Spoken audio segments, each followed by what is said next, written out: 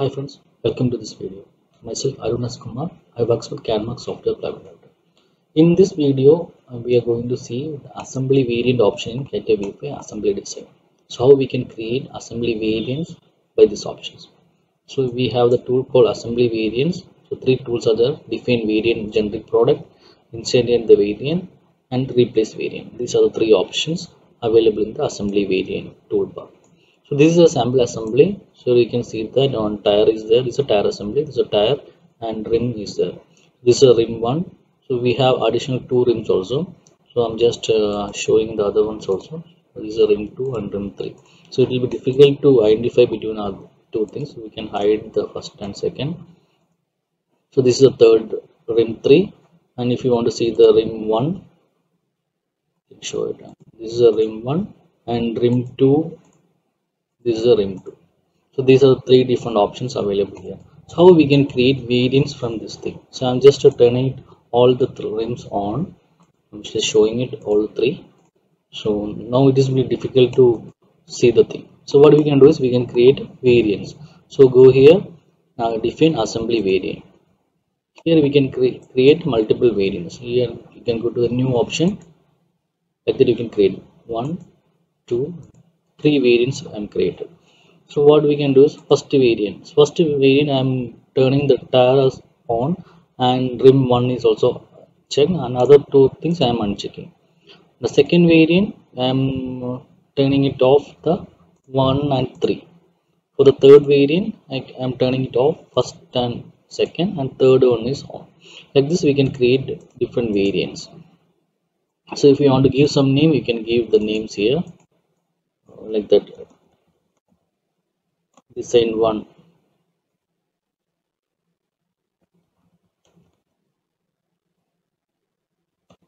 Design two.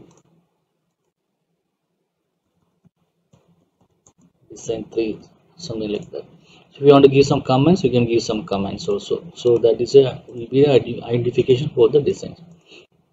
So here actually we can give some with the uh, now here we are having seven spokes so we can give the seven spokes so this thing actually is kind of a grid kind of thing. We can give a grid design. So third one actually we, here we have nine spokes we can uh, name it as nine spokes like this we can give names also. So give okay. So whenever you want to display or you want to showcase to some presentation or something like that? You can go here and just switch between the variants. You can easily show it to the team. So then we can finalize your designs. So this can be used in your presentations or group review meetings or something like that. You can use it.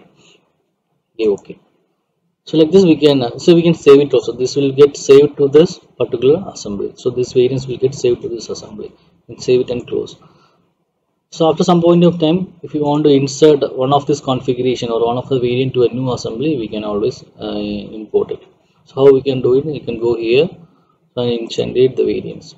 So what you can do is you can go to second option then select the generic product. You can go here select select the wheel assembly. This is our generic product. And automatically all the variants will get listed here. It will come with all the comments. So you can just select which one you want. I'm going to the design one. Okay so that will get added into your assembly. So if you are in the main assembly you can always uh, call these sub assemblies with the variant different variant which variant you want you can just call and add into your main assembly. Suppose you want to replace it that is also possible. If you want to replace this variant you can go with the third option replace variant. Click here. So again you need to select this uh, generic assembly. Then i am going with the third design. Or um, just second design? Okay.